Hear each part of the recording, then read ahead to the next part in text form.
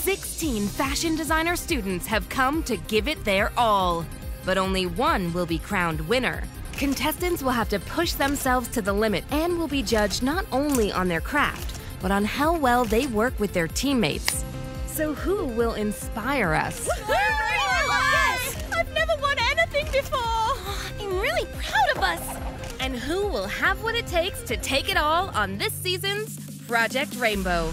Stay tuned to find out.